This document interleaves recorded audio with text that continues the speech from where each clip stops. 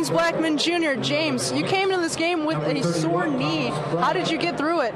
Uh, really, it, it's not really sore. It's just Coach Crean want, wants me to rest and be fresh for the whole season. Um, same with the whole team, you know. We just wanted to come out and show what we could do. One exhibition game left until the regular season. How do you feel you played? Uh, I feel we all did great, you know. Ball movement was there. Second half, our defensive plan started picking up. Um, we just want to carry it over to the next game, and when the season starts, we're ready to go. All right, thank you very much. Back to you, Scott and Thank you, Stephanie. Great work this evening.